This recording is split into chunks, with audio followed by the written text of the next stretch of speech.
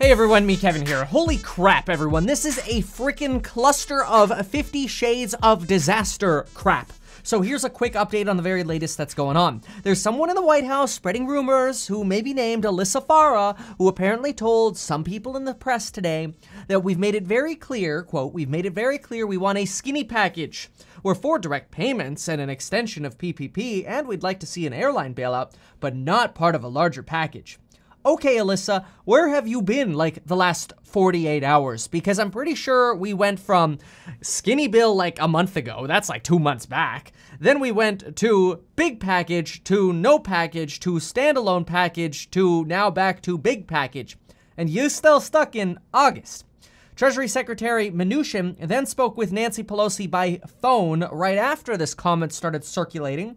And according to Drew Hamill, who is the assistant of Nancy Pelosi, Drew says, quote, the speaker pointed out that unfortunately the White House communications director contradicted that assertion during their call. And this was in reference to Speaker Pelosi and Mnuchin making progress on the language for their larger stimulus bill. However, Nancy Pelosi, again according to Drew Hamill, quote, trusts that the secretary speaks for the president aka forget everyone else at Donald Trump's staff, just focus on Mnuchin. And Pelosi said, hey, we're at the table. We want to continue the conversation. We've made some progress. This is her quote. We're exchanging language. And remember this morning, Nancy Pelosi was really excited that she got some language back from Mnuchin, like a text or email, was jumping up and down over that. But let me tell you something. Right now, if y'all are losing your freaking minds, you're not alone. So am I. Like, I don't even know where the pieces are anymore, so I drew a diagram, okay? This is the diagram. So, uh, in one corner of these four corners, we have the skinny proposal with stimulus and bailouts for the airlines. Because, uh, yeah, I'm sure that money will be really useful for when we kick air travel down the road three months, and then they're in the same freaking spot as they were today. Anyway, standalone stimulus bills. Then over here, we got nothing uh, which is the same color as something else on this board that I'll tell you about in a moment. Uh, and then we've got the big package. This is where supposedly we are. The problem with all this crap is the last 48 hours, somebody decided to go around Trump and go, wee! And so now we have a big flaming pile of SHIT storm, because that's what's here in the middle here. Yeah, we've literally gone dancing around all of this disaster, and it's no wonder that our heads are spinning, because this is a disaster.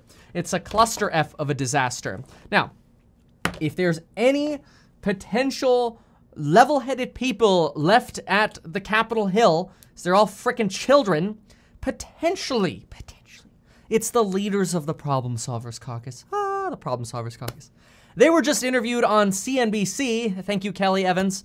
And uh, Kelly Evans asked them directly, and when I say them, I guess I should introduce them. I mean Josh Gottheimer, he's a Democrat, and Tom Reed, a Republican. If only all interviews could be here's the Democrat and here's the Republican. Anyway, they said that right now each side is putting their best offer out there, and it sounds messy.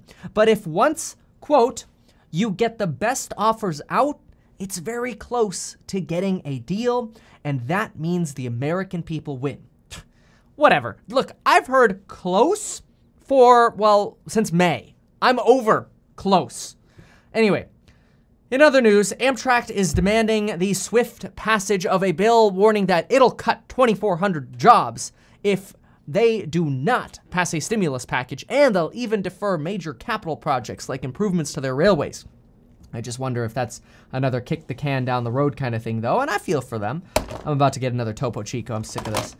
Uh, the White House finally sent letters to people who went to Judge Amy Barrett's confirmation hearing saying, um, hey, um, by the way, if you went to the hearing, you might want to get tested for COVID. Yeah, they just sent that letter.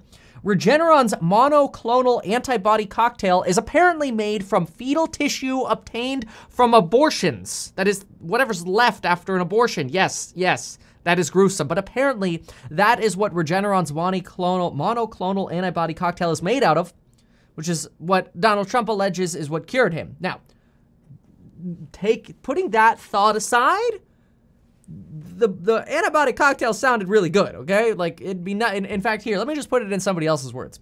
Former FDA Commissioner Dr. Scott Gottlieb says, may, quote, man-made antibodies like those Mr. Trump received may soon be rolled out for broader public use. Such treatments may be a bridge to a vaccine.